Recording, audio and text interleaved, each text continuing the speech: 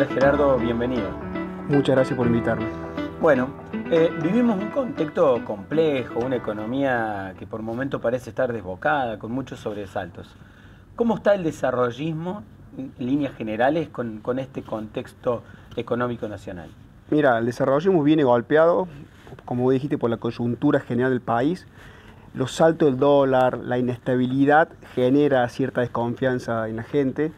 Nosotros vemos que mucha gente lamentablemente está yendo a invertir afuera. No obstante, eh, la mayoría de los desarrollistas con los que hablamos, bueno, ustedes ya han entrevistado varios, todos siguen apostando Argentina, sobre todo Córdoba, nosotros estamos en la provincia de Córdoba, o sea que eso te da cierta esperanza de que esto tiene que mejorar. Eh, nosotros creemos y seguimos apostando, de hecho estamos largando dos proyectos por año, eh, seguimos apostando al país y la provincia. Bueno, eh, profundicemos un poquito este punto. Contame un poquito cómo está tu empresa, en qué están trabajando.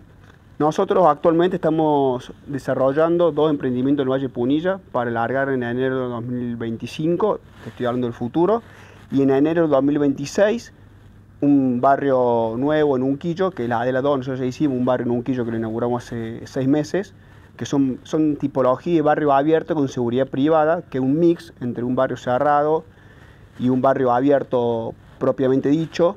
Eh, son barrios abiertos donde cualquier persona puede ingresar. Tienen, con la diferencia que tienen 84 cámaras, 84 eh, lotes, prácticamente un lote por cámara. Eh, bueno, plazas que la mantiene el barrio, recolección de residuos en un solo lugar, pero son barrios abiertos. Varios proyectos, varios metros cuadrados en construcción, o sea, no se detienen a pesar de, de, este nosotros no, nosotros no nos detenemos a pesar del contexto que no es bueno eh, y la coyuntura y, el futuro está bastante incierto nosotros no nos detenemos. De hecho en julio largamos un proyecto en, en Valle Hermoso ya largamos la venta ya está todo aprobado el 50% de la primera etapa ya está lista para, para la venta y son bueno son 180 lotes y seguimos avanzando y, y intentamos no detenernos. Perfecto. Qué es lo que está buscando o cuál es el perfil de la persona que se acerca a comprar. Son personas que lo buscan para ellos, para vivir ahí, son inversores, gente que quiere tener una casa en las sierras. ¿Cuál es el perfil de la gente que está comprando los productos de ustedes? Mira, nosotros nos dedicamos a hacer loteos residenciales turísticos, ya sea en, el Gran Córdoba o en el interior de Córdoba.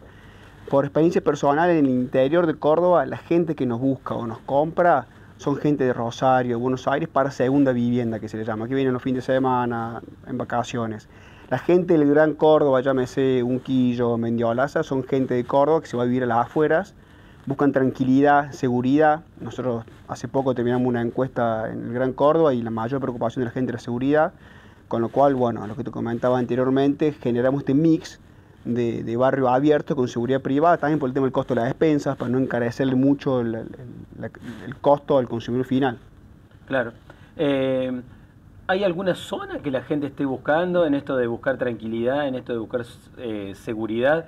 ¿Hay zonas que tengan mayor potencial de crecimiento que otras? Mira, en cuanto a la gente del interior, a la gente de, Rosario, de Buenos Aires, o también del sur del país, increíblemente mucha gente del sur sin compra para segunda vivienda en Córdoba, busca la cercanía las autopistas y a, las sierras. Ya pensé, bueno, ahora están haciendo la nueva autovía de Punilla, esa zona está creciendo mucho, lo que es la falda, Valle Hermoso, la cumbre. Eh, y del otro lado nos vamos para la ruta 5, que es toda la zona de las sierras. Eso en cuanto hablando de la gente del, interior, del, perdón, del exterior de la provincia. En cuanto a lo que es la gente de Córdoba, que busca, por una cuestión de costos también, busca el Gran Córdoba, llámese Mendiolazo, un quillo, sobre todo el norte de Córdoba. Ya el sur, ya Altagracia, está un poquito más distante, hay gente de Córdoba, pero la mayoría de gente de, Córdoba que se va al Gran Córdoba busca lo que es un quillo, la Sevilla Allende. Claro.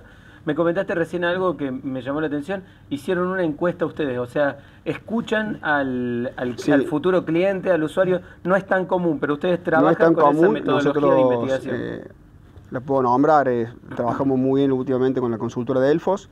Nos hizo una encuesta en, en el municipio de la cumbre para ver qué pensaba la gente, cuál es la prevalencia de la gente, qué busca la gente, qué quiere la gente, tanto de la cumbre, que vive en la cumbre, como la gente que va a visitar la cumbre.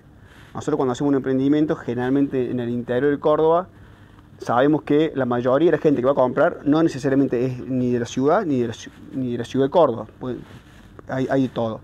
Nosotros también en Unquillo hicimos una encuesta hace dos años, tres años, cuando estamos, ya estamos comercializando la Adela, que es el barrio que te comenté, y la mayor preocupación de la gente en esa zona era la seguridad. Entonces, en Unquillo por ordenanza están prohibidos los barrios cerrados, entonces, bueno, y la gente, sin embargo, lo que más demanda es la seguridad. Entonces hay que hacer un emprendimiento, darle seguridad, no se pueden hacer barrios cerrados, bueno, generamos este, este mix que es un barrio abierto, pero con, con seguridad privada, con cámara de seguridad, con cerco. El ladrillo sigue siendo uno de los grandes refugios en, medio de, situaciones económicas complejas, sigue siendo utilizado mucho para, el refugio de valor de los ahorros. Sí, la gente sigue confiando en el ladrillo. Eh, guste o no, el, dólar, que es el, mayor refugio de, ahorro de la gente, de la clase media, tiene un, cierto, una cierta pérdida del poder adquisitivo teniendo el dólar en el colchón, como se dice. El, ladrillo, el departamento, eh, casa, housing o terreno, el, terreno realmente aumenta el valor por el crecimiento demográfico natural de la zona y lo que el ladrillo te da la, renta, que es mucho poco, pero te da una cierta productividad. Eh, no así el dólar, el dólar quieto, por llamarlo de alguna forma. Claro. Se viene un año muy electoral, con cambio de gobierno, con con decisiones que impactan en la ciudadanía. Esto que vos decís, que la gente quiere mayor seguridad, no deja de ser un, condicionante, una variable. ¿Cómo, ¿Cómo, lo ves vos y qué expectativas tenés ante los cambios de gobierno, nacional, provincial, municipal? Las expectativas son buenas, eh, como te dije al principio de la charla, el que venga va a tener que hacer algunos cambios profundos. La verdad que el país creemos que necesita unos cambios profundos reglas un poco más claras, eh, tanto a nivel municipal, provincial, más allá que la provincia se ha trabajado mucho en este aspecto, creemos que hay, hay muchas cosas por hacer. Perfecto.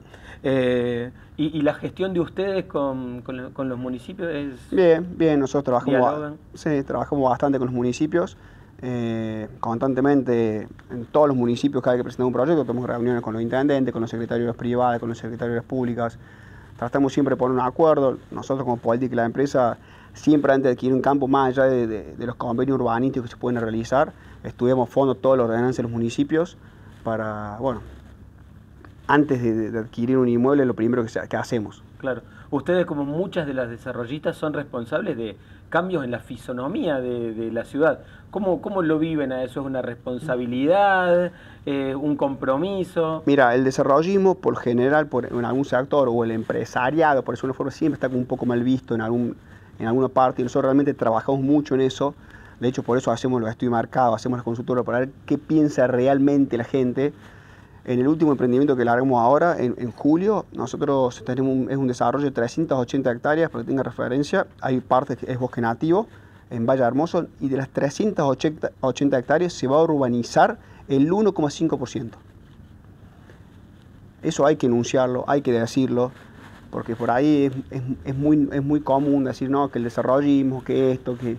Y la realidad es que, yo una opinión personal, hay desarrollistas buenos y desarrollistas malos, como hay empresarios buenos y empresarios malos, y políticos buenos y políticos malos. Yo creo que en general el desarrollismo corre siempre sin hacer las cosas bien. Eh, una cuestión también hay una cierta por ahí burocracia que bueno, te da algunas limitaciones, pero en cuanto a mi empresa en particular, la política de hecho, en el, barrio, eso está en las redes y demás, en Unquillo, cuando hicimos el barrio en la isla, no solamente que no retiramos ningún árbol, sino que plantamos 170 árboles nuevos de especie nativo. Yo soy medio en eso, cuando planto árbol, planto árbol nativo, no, no. Y todos los árboles que están en las calles existentes se le hizo un adoquinado de piedra y no se tocó un solo árbol. De hecho, van al barrio, ven las calles que van todas zigzagueando los árboles.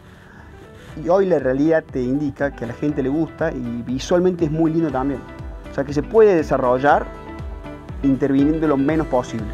Perfecto, bueno, agradecemos este contacto. Dale, muchísimas gracias.